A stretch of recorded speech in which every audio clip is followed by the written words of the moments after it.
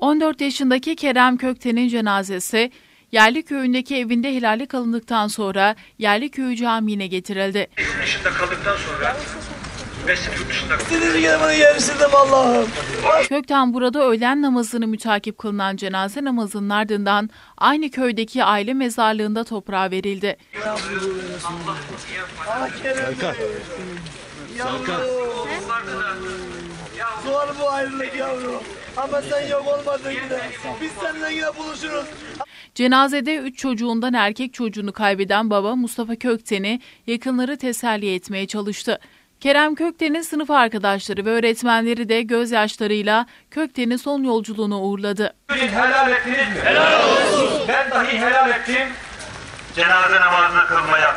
Cenazeye Kerem Kökten'in yakınlarının yanı sıra İlk Adım Belediye Başkanı Erdoğan Tok, Terme Belediye Başkanı Şenol Kul'la vatandaşlar katıldı.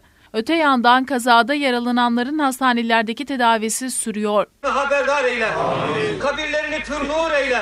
Makamlarını cennet bahçesinden bir bahçe eyle.